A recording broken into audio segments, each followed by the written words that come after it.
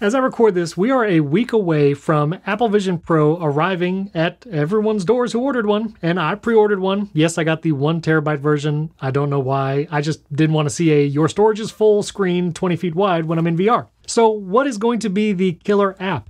Now, there's been lots of news about a lot of apps are not going to be on the Apple Vision Pro at launch, even ones like Netflix and YouTube. You'll have to go to the Safari web browser. But even if we had those apps, entertainment is going to be a fun use case but what's going to be actually useful in Apple Vision Pro? Is it going to be productivity? Is it going to be some kind of new experience? Well, I have five ideas that will be unique in Apple Vision Pro, creating new experiences for these things. And there are two of these apps I'm about to mention that were announced that will launch with Apple Vision Pro. Some of these are like pie in the sky use cases, probably way off, and we need cheaper versions for it to be more accessible. But here are five use cases I think might actually make Apple Vision Pro compelling. Now, for developers who make apps, if they have an iPad app already, they can literally just leave a box checked in Xcode, and their iPad app could be available in Apple Vision Pro.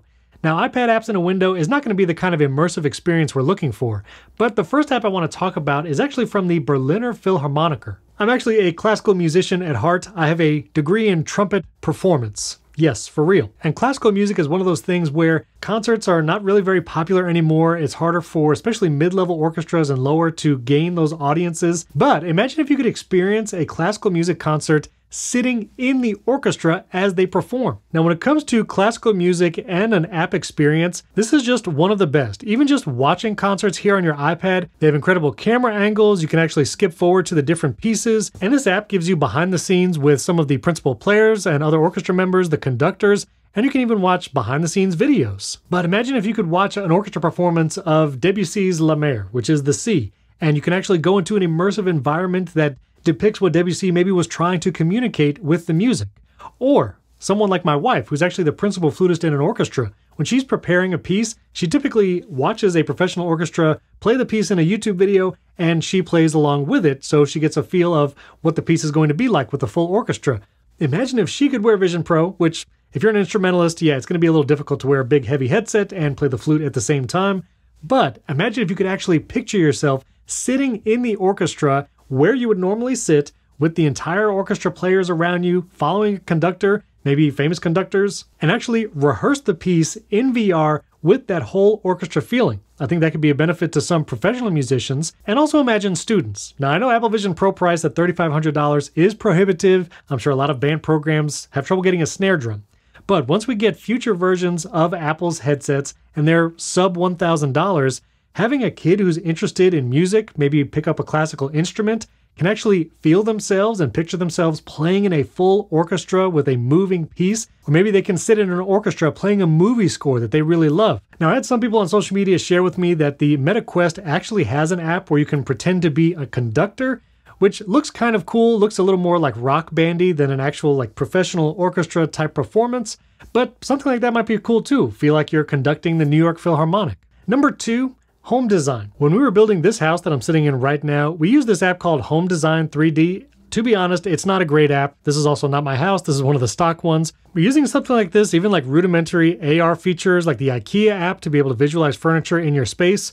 This is pretty cool and gives you a good idea of how to plan your room, but something like the Apple Vision Pro should be able to calculate the exact size of a piece of furniture and let you walk around the room experiencing what it would feel like to have that furniture in the room. In some apps like the Best Buy app, you can actually view a TV in your room. You know, you tap to place it somewhere. Uh, it's not the best experience, but maybe for architects and construction teams that are actually building a house and the people moving into the house trying to plan their furniture and layout, being able to walk through an entire house in augmented reality, maybe on the land you're about to build on, that might be pretty compelling and give you a better idea of what the final product will look like rather than just like the hold your phone up and try to picture it through the screen. Also, a side note, I think building furniture, and I'm talking like IKEA bookcases, that might be pretty compelling too, where following the directions is good, but you know, sometimes you mix up the boards or whatever. Of course, you could follow the physical IKEA manual, but imagine if you could wear the headset and it tells you exactly what wooden dowel to put in what hole and how to build it.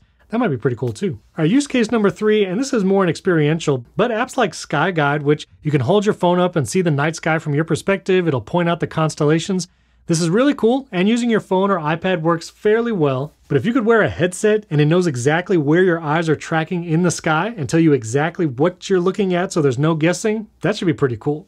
And there are apps that have been announced like Cosmic that will be working on Vision Pro from the launch.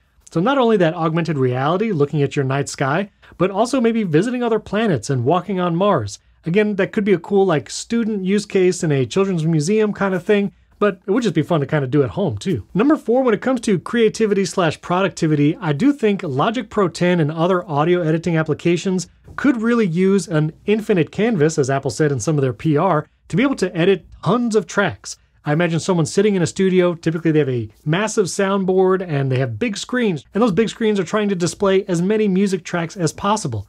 Well, in VR and AR, you can have it as big as you want with as many tracks as you want. So apps that already exist like Logic Pro 10 on iPad or just screen sharing Logic Pro 10 from your Mac in AR on this 20 foot wide screen, maybe that's beneficial for studios and video editing. I have some concern about like input methods. Obviously, you'll be able to connect a keyboard and mouse and use it with Vision Pro or just extend your Mac screen.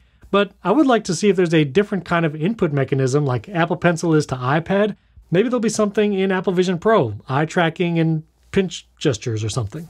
And finally, number five, this is just for fun, but Lego. Builder's Journey is actually a game already in Apple Arcade and will be coming to the Apple Vision Pro. You know, being able to do this and things like augmented reality will be pretty cool. But Lego also has a manual app where you can look up the manuals or save the manuals from sets that you have bought, and it will show you the instructions step by step as you're building the Lego right there on your iPad or your iPhone screen. That would be kind of cool to have the manual in augmented reality, maybe even highlight the piece in your visual field, the next one you're supposed to put on the set. So playing with actual Legos in augmented reality, or maybe building a Lego like this in virtual reality in the mountains, that might be cool too. But I'll be honest, none of these use cases feel like the killer app for Apple Vision Pro, and I also have to admit, I've not tried Apple Vision Pro yet. My co-host on Primary Technology, Jason Aten, he got to try it back at WWDC, and everyone who has tried it says it is a very compelling experience.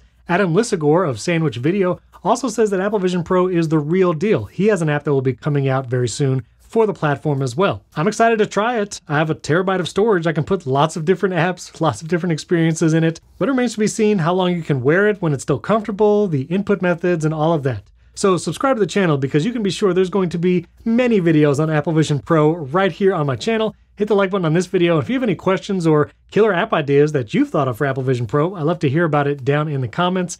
And if you want to learn about shortcuts, which I think shortcuts is going to be on Apple Vision Pro too, I'll put a whole playlist up here of my shortcuts from Shortcuts 101, seven easy ones to build, all the way up to advanced shortcuts and even Apple Watch action button shortcuts. That was a recent video I did. And I'll put another video up here that YouTube thinks you're really going to like. Thanks for watching. I'll catch you next time.